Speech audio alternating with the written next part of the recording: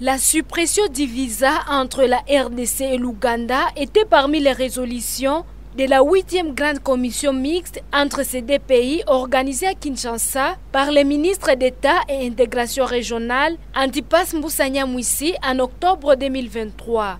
Mais cette question de la suppression du visa tarde de trouver un accord entre le ministre de l'intégration régionale et le ministre des Affaires étrangères, les deux répondants, a indiqué les chargés de mission au ministère de l'intégration régionale. Le problème, c'est que chez nous en RDC, nous avons deux ministères qui gèrent cette question. Donc le ministère des Affaires étrangères et le ministère de l'intégration régionale. La question était gérée à deux niveaux, alors qu'à premier, c'est nous à l'intégration régionale qui devrions qui avions en fait organisé la grande commission mixte, mais il y avait certaines décisions qui devraient être prises par le ministre des Affaires étrangères. Alors, il, faut le dire quand même, il faut être clair, c'est qu'il y avait petit blocage parce que la 8e grande commission mixte avait débuté, je crois, donc, entre le 12 et le 15 octobre. En fait, c'était prévu que euh, dans la semaine qui suivait, donc entre le 15 et le, et le 20, que les frais liés au visa soient déjà supprimés.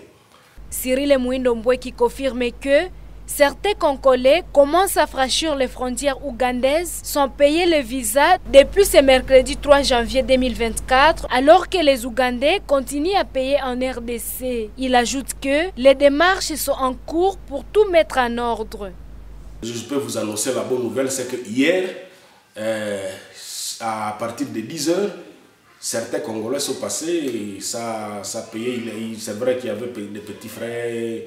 Euh, j'ai appris quand même euh, euh, du côté ougandais, ils ont demandé, demandé 10 000, 10 000 chelets, 20 000 chelets qui est une valeur de, je crois, 4 dollars, 3-4 dollars.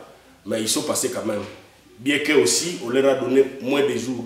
Mais aussi, chez nous, en RDC, on n'a pas, pas respecté la mesure.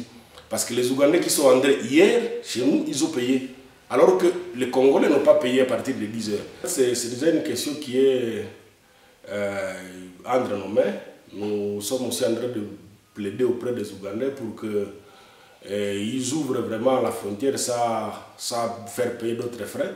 Et ça, ça a débuté jusqu'à nouvel ordre. Donc déjà, soyez rassurés, ces chargés de mission au ministère de l'intégration régionale demandent aux opérateurs économiques qui voyagent pour l'Ouganda de se former suffisamment sur cette question avant de voyager pour ne pas tomber sur des personnes qui feront payer frauduleusement les visas, la libre circulation étant déjà effective.